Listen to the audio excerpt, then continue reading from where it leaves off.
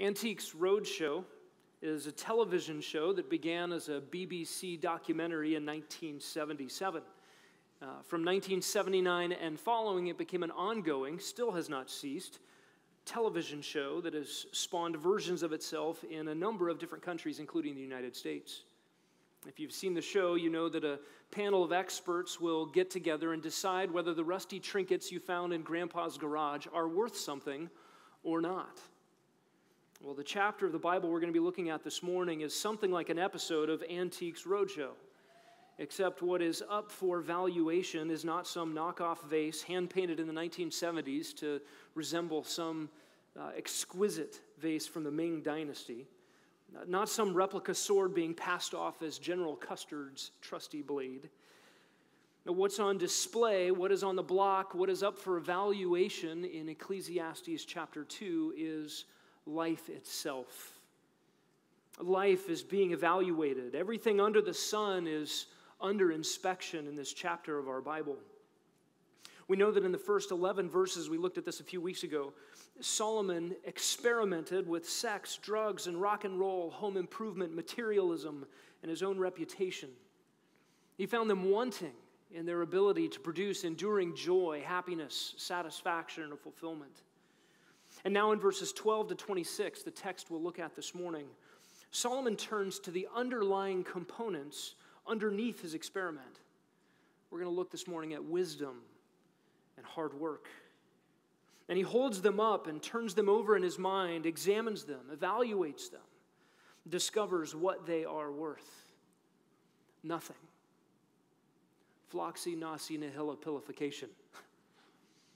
If you were wondering how to pronounce the title of this morning's sermon, it doesn't matter, it doesn't mean anything, or rather, it means nothing. Every piece of that word, flocci, nauci, nihili, pilification, all of it means nothing, and it's one gigantic word, the second longest word in the English language, composed to describe nothing. It's the valuation of something as worthless, as valueless. Solomon, in this part of this book, is evaluating life. Let's read it together. Verses 12 to 26 of Ecclesiastes chapter 2. Here is God's word through the pen of Solomon. So I turned to consider wisdom, madness, and folly. For what will the man do who will come after the king except what has already been done? And I saw that wisdom excels folly as light excels darkness. The wise man's eyes are in his head, but the fool walks in darkness. And yet I know that one fate befalls them both. Then I said to myself, As is the fate of the fool, it will also befall me. Why then have I been extremely wise? So I said to myself, This too is vanity. For there is no lasting remembrance of the wise man as with the fool, inasmuch as in the coming days all will be forgotten, and how the wise man and the fool alike die. So I hated life. For the work which had been done under the sun was grievous to me, because everything is futility and striving after wind. Thus I hated all the fruit of my labor for which I had labored under the sun, for I must leave it to the man who will come after me. And who knows whether he will be a wise man or a fool? Yet he will have control over all the fruit of my labor for which I have labored by acting wisely under the sun. This too is vanity. Therefore, I completely despaired of all the fruit of my labor for which I had labored under the sun when there is a man who has labored with wisdom and knowledge and skill, and then he gives his legacy to one who has not labored with them, this too is vanity and a great evil. For what does man get in all of his labor and in his striving with which he labors under the sun? Because all his days his task is painful and grievous. Even at night his mind does not rest. This too is vanity. There is no good in man that he could eat and drink and tell himself that his labor is good.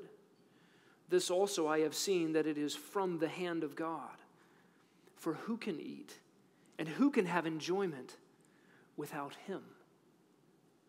For to a person who is good in his sight, he has given wisdom and knowledge and joy, while to the sinner, he has given the task of gathering and collecting, so that he may give to the one who is good in God's sight.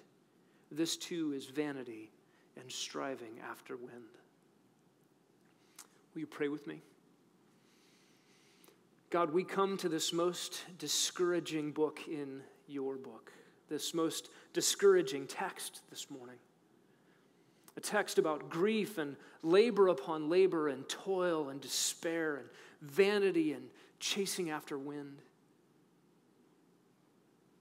And we long to engage with this text. Oh Lord, let us feel what Adam lost. Let us yearn for what you alone provide. I pray this morning that you would use this text to shake us to grant to us an eternal perspective, to think rightly about life under the sun, and to long for you. And we pray it in Jesus' name. Amen.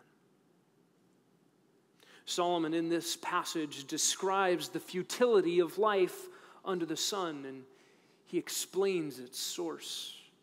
We're going to look this morning at his description and explanation of the futility of our existence under the sun.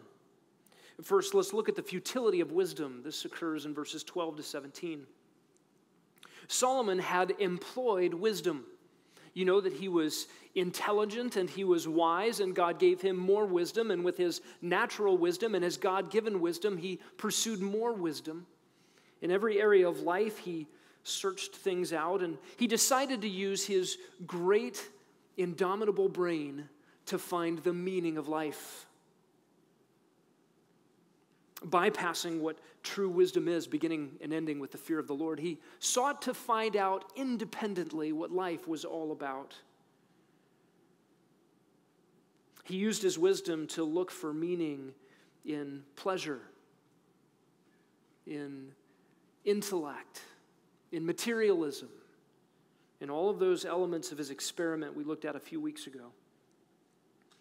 All of that failed his grand experiment to find the meaning in life was a, an abject failure, and now he's asking base questions underneath his experiment. Maybe I went about this all wrong. I, I used wisdom to try to find meaning in life. Maybe there's something wrong with wisdom itself. He's asking about the value of wisdom. His incomparable wisdom could not give him an answer to the question found in chapter 1, verse 3 What profit? What gain, what transcendent advantage is there to the sons of men under the sun? What's the bottom line? Wisdom couldn't get me together. Maybe wisdom itself is flawed.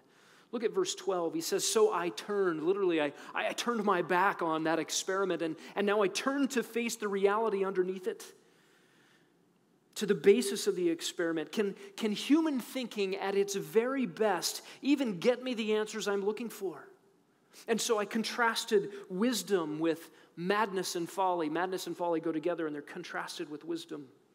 And by wisdom, here again, Solomon does not mean what begins with the fear of the Lord, as he himself defined wisdom in the book of Proverbs.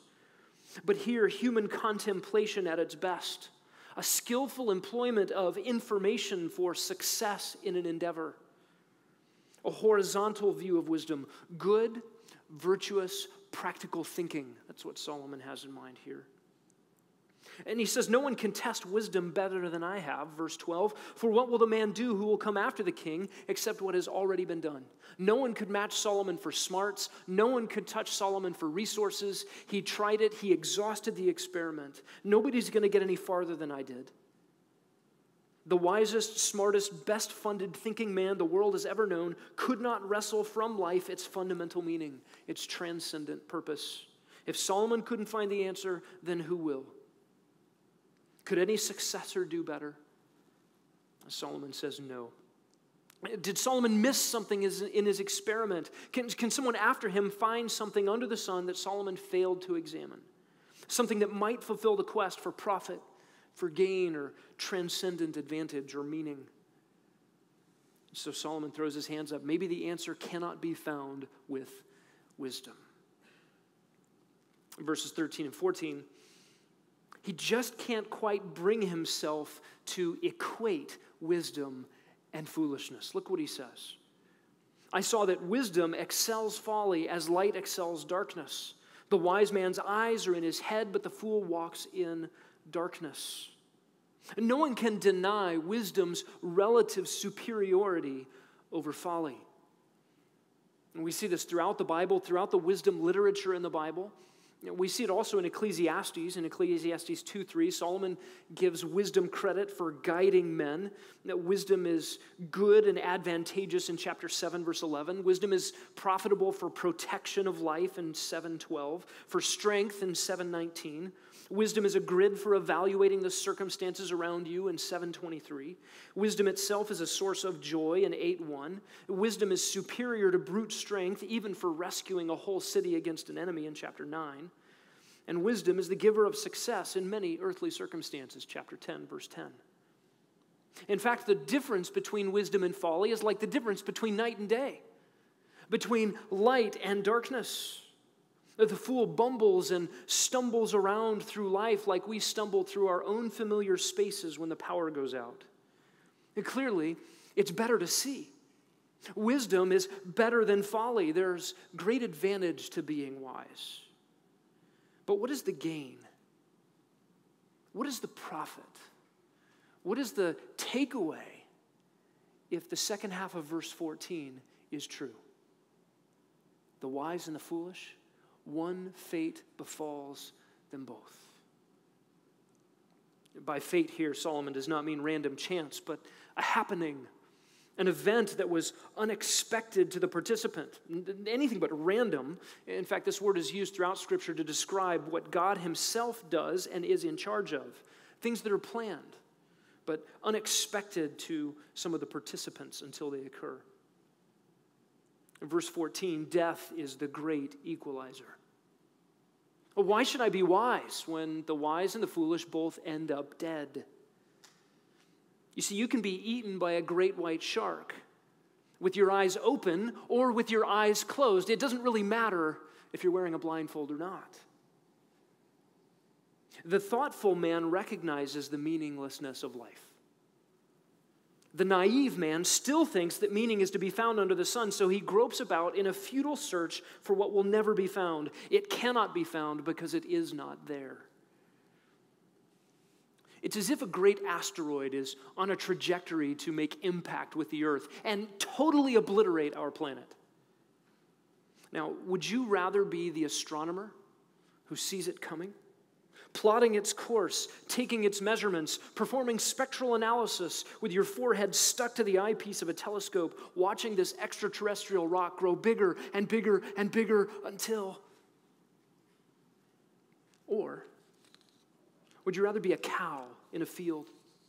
Happy as ever to get one more mouthful of sweet blue Kentucky grass into one of the four compartments in your stomach, totally oblivious to the doom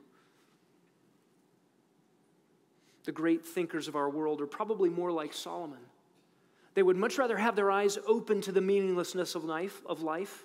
They would much rather know than not know that death is coming, which will in the end make all of their thoughts pointless and all of their accomplishments meaningless. The discovery of the meaninglessness of life is itself meaninglessness. Look at verse 15. Then I said to myself, As is the fate of the fool, it will also befall me. Why then have I been extremely wise? So I said to myself, This too is Hevel, vanity, emptiness. This has, in fact, been the conclusion of many intellectual giants under our sun. Martin Heidegger is said to be one of the most important philosophers of the 20th century. He claimed that if people stopped long enough to think about their mortality, they should plod through a state of ceaseless, wrenching, existential despondency regarding the inevitable closing of their eyes. Only a blithe simpleton would enjoy the world rather than be anguished. Solomon asks, Why go to all the trouble of pursuing wisdom? Floxy nauci nihili pilification, the estimation of all of it as valueless, as worthless. But maybe after I die, my wisdom can outlive me. Maybe my ideas or, or, my thoughts can, can get farther than I do. Maybe I can leave a legacy. Verse 16 For there is no lasting remembrance of the wise man as with the fool, inasmuch as in the coming days all will be forgotten, and how the wise man and the fool alike die.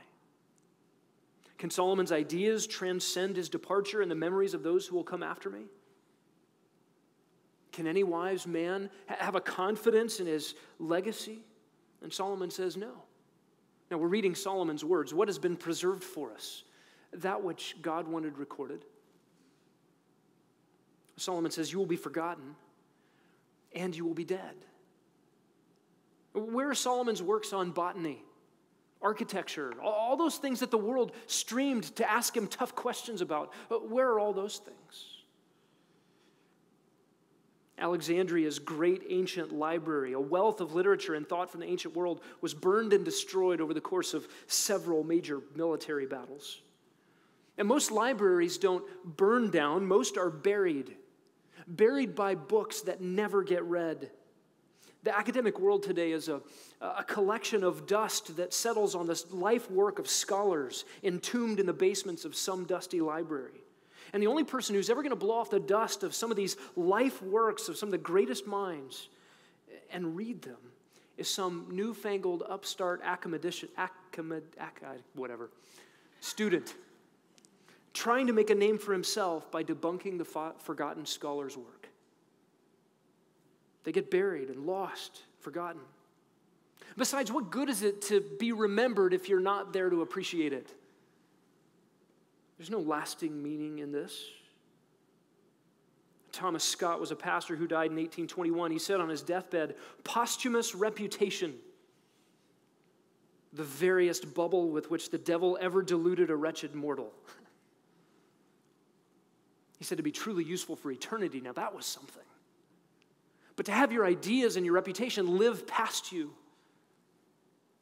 it's a lie, it's fleeting.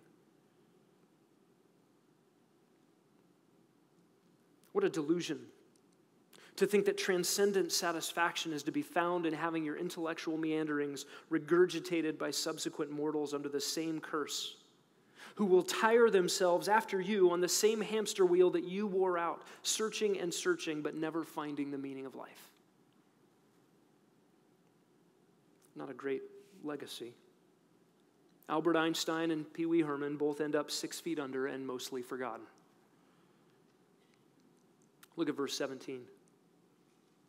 So I hated life. For the work I had poured my life into, the work which had been done under the sun, was grievous to me. Everything futility and chasing after wind. Everything that Solomon was about, everything he went after was a bust. And he is cursing the very things he threw his whole life at. It's like Michael Jordan saying, I hate basketball. Or Michael Phelps saying, I hate swimming. Or me saying, I hate running. No, wait a second, I actually do hate running. But notice in verse 17, he, he doesn't say, and so I hated my life. No, he just says, I hated life. He hated life itself, he, he hated the whole enterprise. And he dares to speak on behalf of all who ever experienced life in a cursed universe. He says everything is futility and striving after wind. Bertrand Russell was a 20th century mathematician and philosopher. As a young man, he so deeply despaired over the meaninglessness of life that he contemplated suicide. The only thing he says that kept him from killing himself was the working out of math problems that interested him.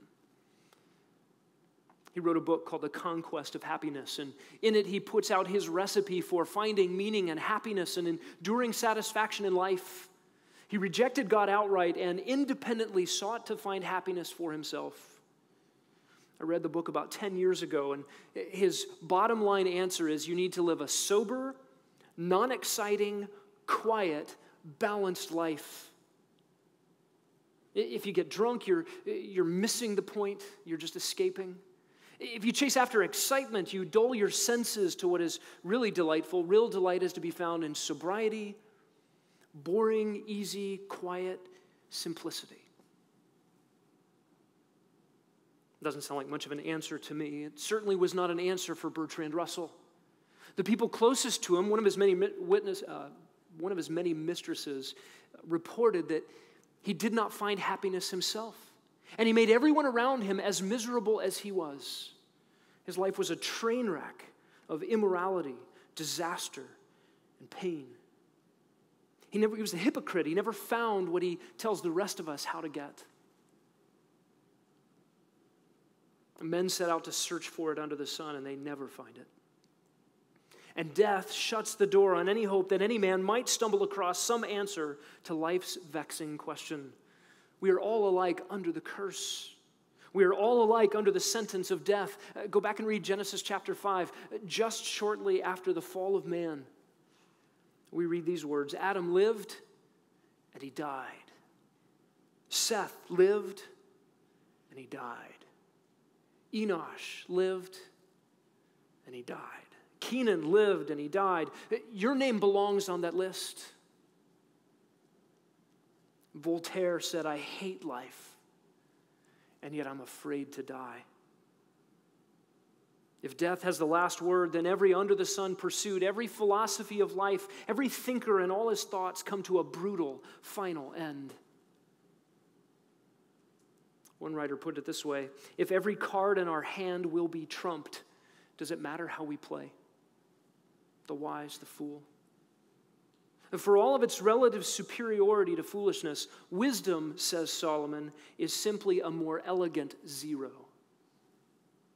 It can't bring about the answers to life. And Solomon says he got to the point where he hated life. You know what this tells me? The curse worked. The curse worked. But when mankind rejected God, the giver of all good things, and, and sought wisdom and knowledge and joy independently, God said to the creation and to mankind, the created order will not yield what you seek from it. You try to squeeze meaning and satisfaction and fulfillment out of this broken life which God Himself cursed, and you will never find what you're looking for. God has reprogrammed the created order so as not to yield what men think they want to get out of it. As long as they reject God, as long as they go after these things independently, they will never get what they seek. The curse works. God's judgment against sin accomplished what he intended. The creation is frustrated, unable to yield satisfaction, and death, the fate that awaits everyone who lives, Everything done under the sun is done under God's curse, and Solomon feels it deeply. He moves from the futility of wisdom, secondly, to the futility of work, beginning in verse 18. This is a description of the rat race labor, work, effort, toil. Did you hear the emotion in Solomon's words here in this passage? Beginning in verse 18, I hated the labor for which I have labored Verse 19, again, the labor for which I have labored, vanity. Verse 20, I completely despaired over the labor for which I had labored. Verse 21, vanity, great evil. Verse 22, labor and striving with which he labors. Verse 23, painful, grievous, vanity. Solomon is either a drama queen or he's onto something. He's thought more thoroughly about life than most of us do normally. And many people attempt to find their significance in their occupation and what they do for a living. In fact, it's often the first question we ask one another when we meet So, what do you do? And Solomon here says he hates it.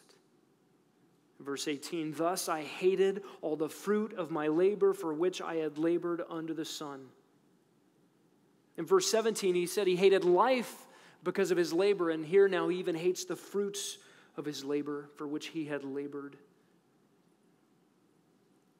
Why?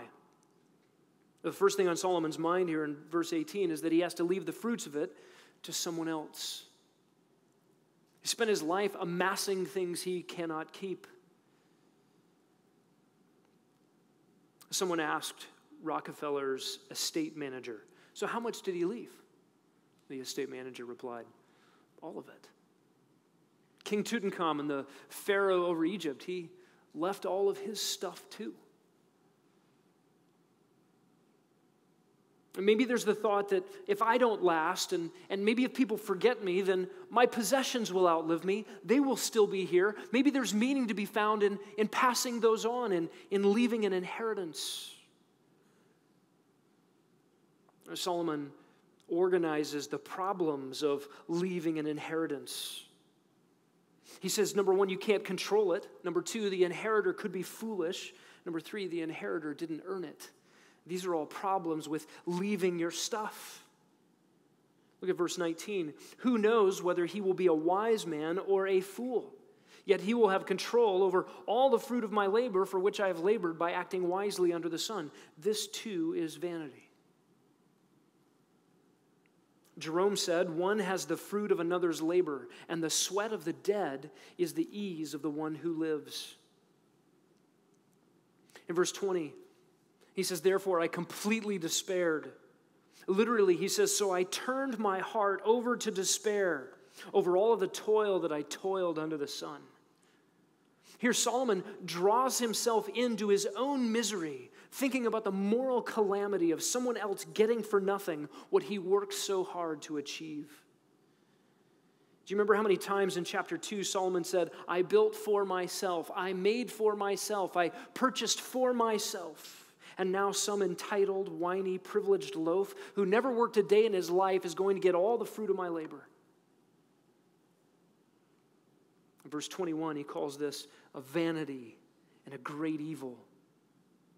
When there is a man who has labored with wisdom and knowledge and skill, and then he gives his legacy to one who has not labored with them, this is vanity and great evil. And notice that Solomon lamenting work here is is not one who's just going to work punching a time clock, can't wait till it's done. He's not working for the weekend. He doesn't have Monday morning blues and he doesn't say TGIF. No, Solomon loved his work and he poured everything he had into his endeavors. He set his whole heart to squeezing happiness out of his work. But the question from chapter 1 went unanswered, despite all of his toil. And he asks again, it again in verse 22 What does a man get in all of his labor? in all of his striving with which he labors under the sun. What's the bottom line? Where is the gain? Where's the profit, the transcendent value?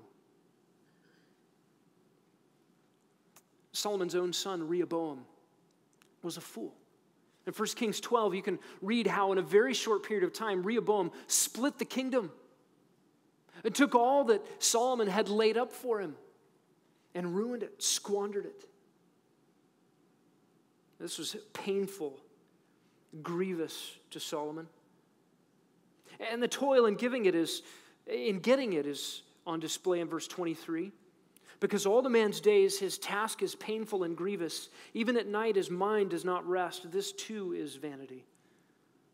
This is the rat race. You work hard during the day, your mind is racing at night. And for what? What is the reward that wise labor produced? Pain in the toil, uncertainty in the outcome. The workaholic with relentless ambition, for whom business is a God. It's just a lot of hamster wheel running. No destination is ever reached. Your dose of 20th century poetic musing this morning comes from Boston. This is a recognition of the futility of the rat race and an expression of the desire to get off the hamster wheel. Now, if you're feeling kind of low about the dues you've been paying, future's coming much too slow. And you want to run, but somehow you just keep on staying, can't decide on which way to go. Yeah, yeah, yeah. I don't have to read the yes. I understand about indecision, but I don't care if I get behind. People living in competition, all I want is to have my peace of mind. Now you're climbing to the top of the company ladder. Hope it doesn't take too long. Can't you see there will come a day when it won't matter? Come a day when you'll be gone. I understand about indecision. I don't care if I get behind people living in competition. All I want is to have my peace of mind. Some worship the grind, and happiness eludes them. Others reject the rat race, and the answers are still fleeting. Wise living and hard work are not the answers to life. Wait a second, Solomon. You're maligning good things here. You're talking about thinking well and working hard, and, and you're saying that they're worthless. And Solomon is driving us to despair, even over the best things this life has to offer, even over amoral or neutral or even good things. We are to despair over their inability to give us what we need most. You and I were created to transcend the stuff of this earth.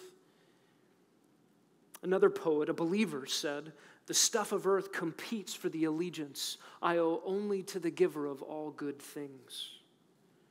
You see, only when we are rightly related to our Creator will we ever have access to true joy, lasting significance, and enduring satisfaction. Everything short of God that promises these things is a lie and a cheat. And Solomon learned to despair over life because he set his gaze on the horizontal. He worshiped and served the created thing rather than the creator. And until that fundamental relationship between God and a man is set right, a man will forever be in the hunt for what cannot be found. A tantalizing chase that culminates in bitter disillusionment and a brutal end. That is the futility of work.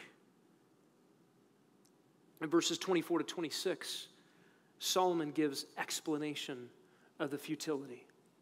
The futility of his experiment in the first part of the chapter, the, ex- the futility of wisdom itself, the futility of work. Why is life a vain pursuit of what cannot be caught? He explains it in verses 24 to 26. He says, first of all, in verse 24, there is no good in man that he could eat and drink and cause his soul to see good in his labor. This I have seen is from the hand of God. And this verse, Ecclesiastes 2:24 is critical to understanding this chapter. I believe it's critical to understanding this book. I think it's critical to understanding the theme of the Bible. This verse is critical for your understanding of who you are and where you fit in the universe and what life is all about. It reveals what is wrong with life because it reveals what is wrong with us. And we need to talk a little bit about the translation of Ecclesiastes 2:24. Almost all English versions of the Bible render this verse something like the New American Standard which says, There is nothing better for a man to do than to eat and drink and tell himself that his labor is good. This is from God. You have to know our English translations are really good. The, the family of Bible translations that you and I get to read in the English are the best the world has ever known. They're exceptional. You can trust your English Bible. But they are translations. And anytime you translate from one language to another, things can be lost, things can be misunderstood. This is why preaching is, is, is, important. This is why pastors and missionaries spend lots of time studying Greek and Hebrew so that they can understand what's beneath our English translations. I want to suggest something uh, that I don't want to do often. It's very rare that our English texts miss the point of a passage it might even get sort of the opposite meaning. And it's rarer still that almost every English translation gets it wrong. Uh, I, am not the kind of guy that wants to stand up and say every week, the English has it wrong, trust me, I know Greek, or whatever. I, I think that does damage to the value that we have in our English Bibles. But hang with me for just a moment. I think this is important enough to maybe draw a line through verse 24 and scribble something in the margin. Okay, first, what I want to do is give you the, the uh, English translations that are out there. ESV says, There's nothing better for a person than that he should eat and drink and find enjoyment in his toil. Holman Christian Standard. There is nothing better for man than to eat, drink, and enjoy his work. New, uh, New International Version. A man can do nothing better than to eat and drink and find satisfaction in his work. King James, there is nothing better for a man than that he should eat and drink and that he should make his soul enjoy good in his labor. New Revised Standard, there's nothing better for mortals than to eat and drink and find enjoyment in their toil. New Century Version, the best that people can do is eat and drink and enjoy their work. New Living Translation, I decided there is nothing better than to enjoy food and drink and to find satisfaction in work.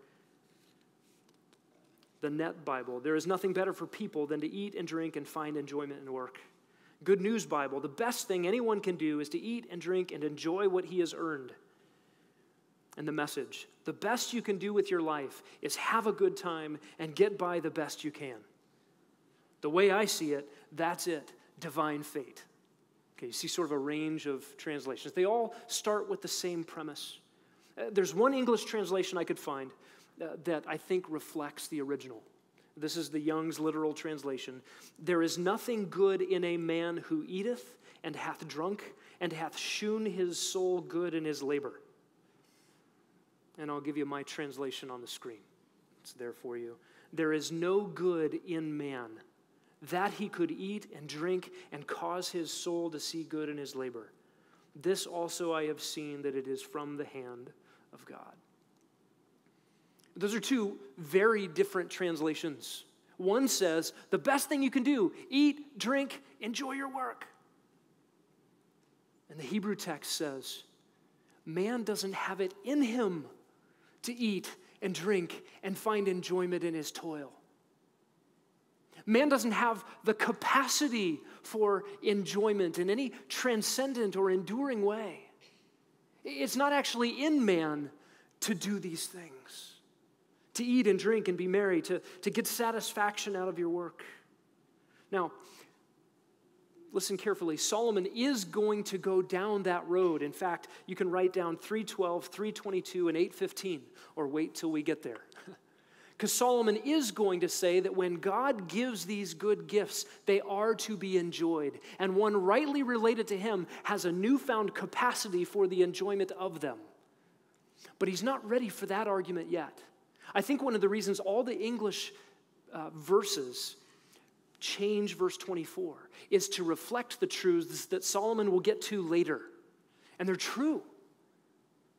But he's not there yet. And what he wants to point out first is man's depravity, man's inability, man's brokenness. The ability for enjoyment is not inherent in man. Man is inherently wicked and bent and broken. And ever since the fall, we have been separated from that which brings satisfaction, separated from that which provides transcendent happiness. Good things and the capacity for transcendent enjoyment of them come only from God. And here's the key to the whole book, verse 25 For who can eat and who can have enjoyment without him? Without God. And the answer to the question is nobody. Gifts come from him. The ability to enjoy those gifts come from him. You can't have them independently. This is the theme of Ecclesiastes. You cannot enjoy life until you choose to enjoy God. The ultimate futility in life is the frustrating failure to find fulfillment. Especially frustrating when those things are good and beautiful and gifts from God, but they won't yield satisfaction without Him. Men try and try and try to squeeze satisfaction and meaning out of things that God graciously gives, but they just can't get it. It's like having a can of cold, sweet peaches on a hot day, but no can opener, and no utensil, and no teeth, no taste buds, and no mouth. What good is the can of peaches? Trying to get satisfaction out of a broken world in a man without the capacity to enjoy it is like trying to get water from a stone, blood from a turnip honey from the rock. By the way, if you want a little sidebar message, go read Psalm 81 and see how God promises to provide honey from a rock. He does the impossible for those who love him. And look at verse 26. For to a person who is good in his sight, God has given wisdom and knowledge and joy. While to the sinner, he has given the task of gathering and collecting so that he may give to the one who's good in God's sight. And this too is vanity and striving after wind. Now, Solomon makes a promise for those who are good in God's sight. Later on in Ecclesiastes, chapter 7, verse 20, he's going to tell us that everybody sins. And yet he set up a contrast between those who are good in God's sight and the sinner, a participle, literally, the, the one who goes on missing the mark. Here, these are categories of people. The one who is good in God's sight is the one who has oriented his life Godward. And the sinner is a categorical description of those who reject God and continue in their own way of living. And notice it is God in this verse who gives. God is the one in charge. The created order is not in charge. Man trying to eke out of the created order the things he wants to try to get apart from God, man's not in charge. God's in charge. And to the one good in his sight, he gives. Listen, friends, you must know our God is not stingy. Uh, the world and, and all of its good things are not there for us to recognize that we can't have them because God is mean. No, God is a good God who gives good gifts.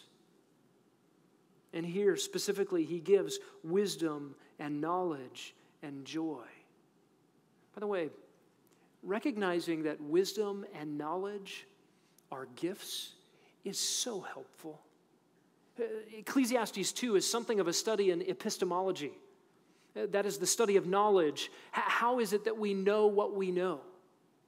And there are really two kinds of knowers, two kinds of epistemologists dependent and independent knowers. Right? The independent knower says, I'm going to use my resources and try to figure things out on my own. Whichever way seems best to me, that's what I'm going to do. The dependent knower says, I'm a creature, and God's the creator. If I'm to know anything, I must subject my thoughts to His thoughts. I must think His thoughts after Him. His ways are higher than my ways. He has infinite wisdom, infinite knowledge. I'm a puny brained creature. I need Him. And to those who are good in His sight, God graciously gives wisdom and knowledge. And look at the third gift joy. A gift from God. Not just the gifts where joy could be found, but also the capacity to enjoy them. It's an endowment from our Creator, withheld from the sinner, given freely to the one good in His sight. What does God give to the sinner? The task of gathering and collecting so that he may give to the one good in his sight. Three infinitives in a row. He gives to the sinner to gather, to collect, to give it all up. The sinner's plight is hevel, vanity. That's what Solomon concludes. This too is vanity and striving after a wind. He's not saying that God giving good gifts to those who are good in his sight is striving after wind. He has his focus here on the man trying to get satisfaction apart from God. And he said, in contrast, the sinner is in a frustrating capacity, as one writer put it, of amassing what you cannot keep. What a frustrating business.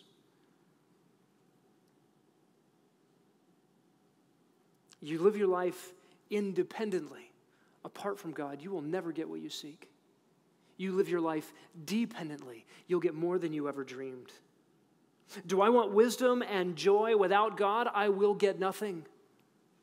But if I want God, I get everything. There are a couple of important questions for us to think through. Uh, one of them is this How do I become good in God's sight?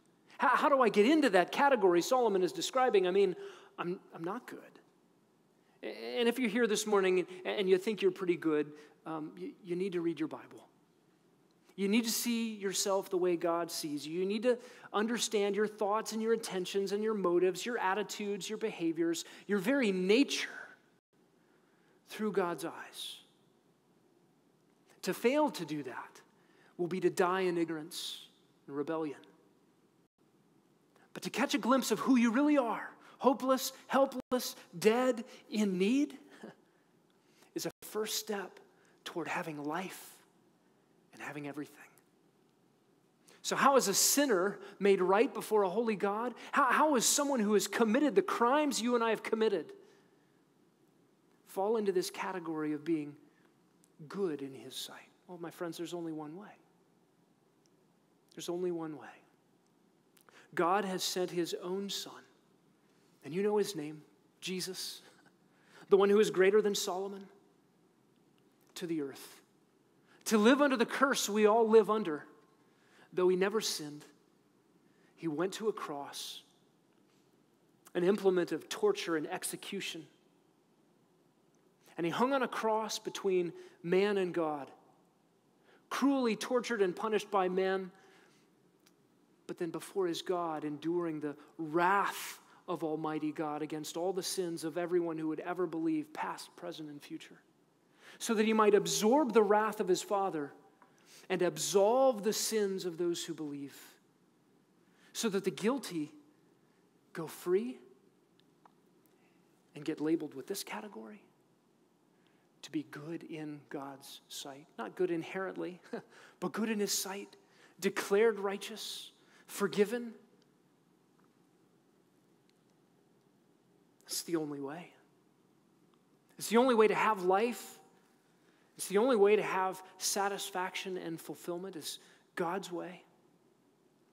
To be rightly related to Him through the death of His Son, through Jesus' resurrection and new life, to be made a new creature, to belong to Him.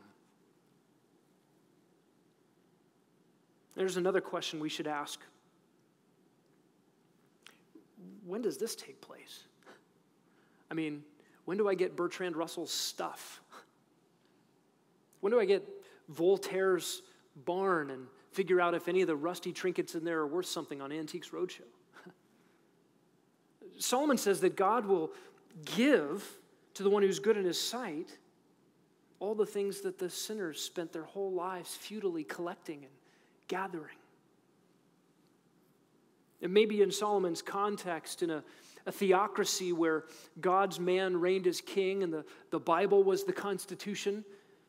Maybe in the, the heyday and the golden age of Israel's theocracy, it, it may have been more true than now that the righteous lived longer, blessed lives, and, and the turn of affairs happened in a temporal circumstance, that, that the wicked get found out, their sin found them out, and their fortunes are overturned and dispensed to those who love God. Maybe that was true to some degree in Solomon's day. Maybe. But I think this text is forcing us to think bigger than this life, to garner an eternal perspective that frankly changes everything. The real truth of this reversal takes place in eternity. I want you to turn with me to Luke chapter 19. I want you to see this.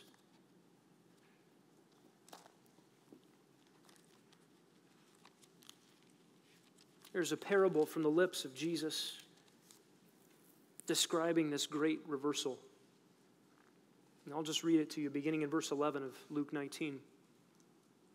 While they were listening to these things, Jesus went on to tell a parable because he was near Jerusalem and they supposed that the kingdom of God was going to appear immediately. So he said, A nobleman went to a distant country to receive a kingdom for himself and then return. And he called ten of his slaves and he gave them ten minas and said to them, Do business with this until I come back. But his citizens hated him. They sent a delegation after him, saying, We don't want this man to reign over us. And when he returned, after receiving the kingdom, he ordered that these slaves, to whom he had given the money, be called to him, so that he might know what business they had done. The first appeared, saying, Master, your mina has made ten minas more. And he said to him, Well done, good slave. Because you have been faithful in a very little thing, you are to be in authority over ten cities. The second came, saying, Your mina, master, has made five minas. And he said to him also, You are to be over five cities.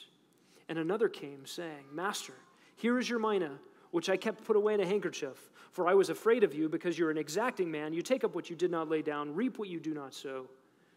And he said to him, By your own words I will judge you, you worthless slave. Did you not know that I am an exacting man, taking up what I did not lay down and reaping what I did not sow? Then why did you not put my money in the bank? And having come, I would have collected it with interest. Then he said to the bystanders, Take the mina away from him and give it to the one who has the ten. And they said to him, Master, he has ten minas already. I tell you that to everyone who has, more shall be given but from the one who does not have, even what he does have shall be taken away. But these enemies of mine, who did not want me to reign over them. Bring them here and slay them in my presence.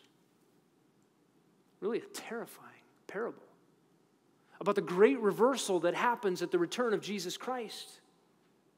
That those who have taken God's commodities, his good gifts, and squandered them, not used them for his glory, have not used them for his increase. They have toiled in vain, they have labored in vain, and will end up giving all that they toiled for over to him. And God will dispense to his own. God will give to the one to whom he has already given. This is a truth reflected in other parts of Scripture. Matthew 6:33 Jesus simply said, "Seek first his kingdom and his righteousness, and all these things will be added to you." Matthew 5 5, Happy are the meek, for they shall inherit the earth. To be an inheritor of all those good things that the world went after apart from God, we get because we pursue him. You can write down Matthew 24, 45 to 47. What do we learn here? God is not stingy. He's not in the business of withholding that which is good.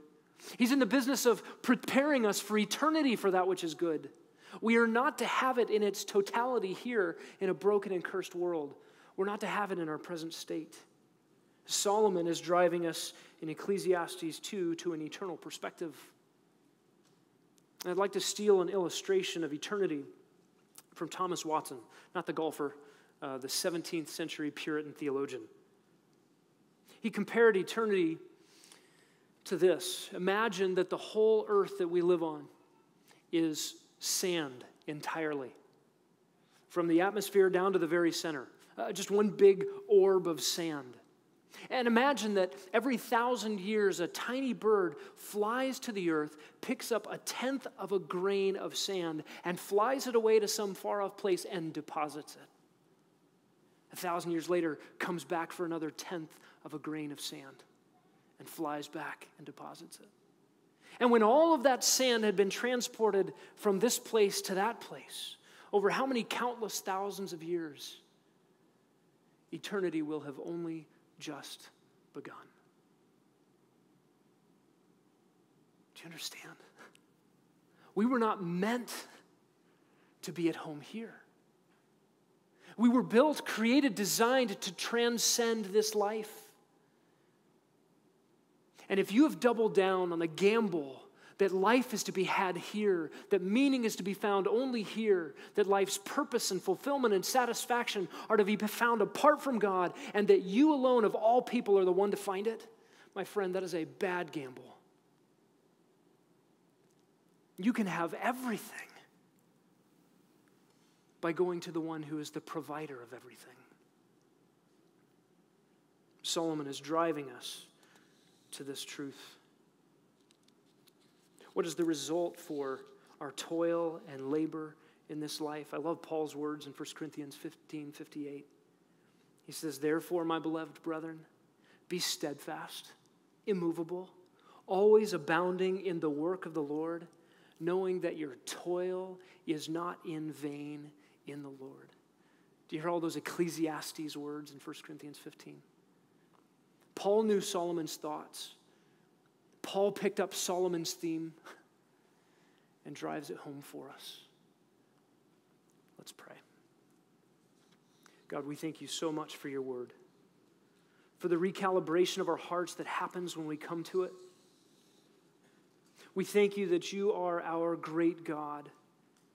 And you are the one who is the fountain of all delights, the one who promised that at your right hand are pleasures forevermore that you have promised good, infinite good for all who love you. You have promised to make your tabernacle among us, that you would dwell with us and we would be called your people and you yourself would be our God. You promised that the one who overcomes would inherit all these things and you would be his God and he would be your son. You promised that there would no longer be any curse. The throne of God and, and of the Lamb will be in that new city, in that new heavens and new earth. and your slaves will serve you, and they will see your face, and your name will be on our foreheads, and there will no longer be any night, and we will have no need of the lamp or light of the sun, because you, our God, will illuminate it all, and we will reign forever and ever.